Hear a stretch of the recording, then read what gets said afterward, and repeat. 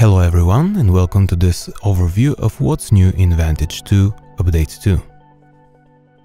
This is a significant update and we added support for the V-Ray Fur, Ornatrix Hair Farm and Next Gen hair plugins along with the V-Ray Hair Next material. We also added support for the V-Ray displacement and uh, finally we added support for the Intel Meteor Lake integrated GPUs. So I'm going to show the new features with this scene. This is what it looks like and it also has some animation, um, day to night. We have the lights being turned on, the fire. All right, so uh, I'm going to get closer to the fireplace and talk about the displacement first. Now you can see uh, we already have some displacement and I'm going to adjust it, uh, bump it out a little bit. Uh, of course, this is too much to pronounce, so I'm going to bring it back to the normal ranges. And um, this is without it. You can see how much flat the light responds in here. And now um, there's much more detail and everything looks uh, better. I'm going to adjust this piece so that we can see how we can work with the displacement. Um, I'm going to bump this a little bit more and take a look at the map. I'm using a procedural noise and uh, let's adjust the size and you can see there is not much polygons. So in order to show the uh, tessellation, I'm going to bring this back or uh, make it smaller and then uh, I'm going to enable the V-Ray Edges texture that I have uh, prepared to see the triangles. Now, um, the traditional controls for tessellation do not apply for Vantage, so uh, I'm going to show you how to adjust this in the preferences. We have a global setting for the tessellation located here.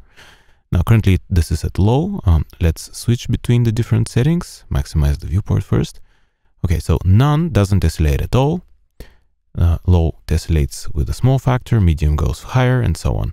And now you can see there are much more polygons we can work with. So I'm going to uh, remove the clutter. And um, yeah, you can see that the noise is visualized nicely. Let's uh, change the size again. All right. And uh, let's now talk about memory consumption. I'm going to uh, switch to the high tessellation. You can see it takes a little bit more time to calculate.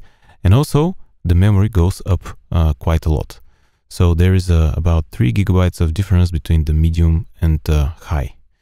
Um, of course, this is uh, dependent on scene, but uh, be very careful when adjusting these settings uh, so that you don't get any instabilities.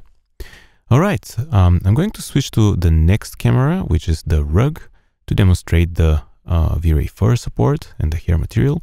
You can see it already in action, so let's adjust some of the parameters. Um, take a look at the rug, okay. So uh, the material is using a texture. I'm going to turn it off for a bit so that we can use just a single color to colorize uh, the material or the rug. All right, it, it looks nice. Uh, let's adjust some of the parameters like length. Um, and uh, I'm going to bring back the texture because it looks nicer. Okay, Currently this is a diffuse material, but you can also use the melanin, uh, which introduces translucency as well.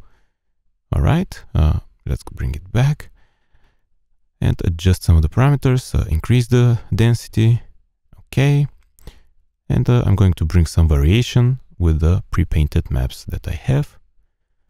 And uh, finally, I'm going to enable the curl parameter. Just bring some more variation and make it uh, fluffy and, and dense and nice.